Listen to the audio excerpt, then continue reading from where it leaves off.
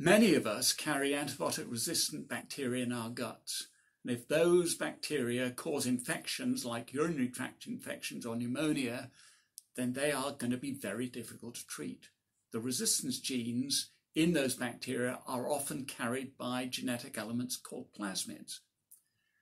And we've found a way of getting rid of those plasmids and the resistance genes that they carry. My name is Chris Thomas. I work at the University of Birmingham and I'm an expert on plasmids. I've been working on them since my PhD in the 1970s, um, and then I went to the University of California before coming to Birmingham in 1980. And so I've, I've been working on these for many, many years. And it's a great thrill to me to be able to apply what we've learned against a real problem associated with these little genetic elements. So we've the paper that we're publishing describes what we've done to get rid of resistance genes on bacterial plasmids. What we do is we add parts of the plasmids we want to get rid of into what we call a vector plasmid, a good plasmid that can spread between bacteria. And we take the genes that we know will block the replication of the resistance plasmid and neutralize its stable inheritance mechanisms uh, so that when our good plasmid spreads into a bug, transfers into a bug carrying the resistance plasmid, that plasmid will stop replicating and as the bacteria multiply, the resistance genes will get displaced and disappear.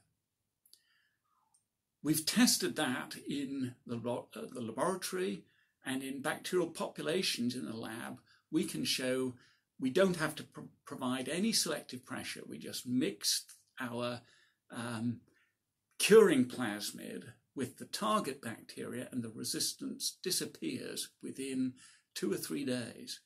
Um, we've collaborated with uh, colleagues um, at the University of Sydney to test uh, the system in mice. And although we need to um, prime the system a little bit with selective antibiotics, we actually can show that the plasmid is effective. Our curing strategy is effective in mice. And at the end of um, about three days, you end up with mice that have totally lost the resistance genes that they were carrying.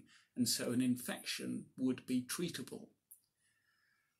Our delivery mechanism um, for this uh, new curing plasmid is um, a safe strain of E. coli that would actually be uh, delivered as a drink, like a Yakult, that would be taken as a tablet or a little um, suspension uh, that would get into the gut. Our good plasmids would spread into the gut bacteria and cause um, the resistance to disappear. And then we've, uh, we're developing uh, self-destruct mechanisms that mean that we can then get rid of our curing plasmid once it's done its job um, and it's you know got rid of the resistance genes. So we're now collaborating with people at the University Hospital, um, the QE Hospital in Birmingham, to work towards a clinical trial in which we could actually um, see how well this actually works in um, human beings. Uh, first of all, does the plasmid spread fast enough in the gut? Um, and does it reach all the bacteria that carry the resistance genes? And if it does, then this would be um, potentially a, a, very, very useful strategy to use in combination with other ways of controlling antimicrobial resistance. Um, so I'm hoping that in a few years' time, this will be something that doctors will be able to use to um, in a clinical context. So thank you for listening.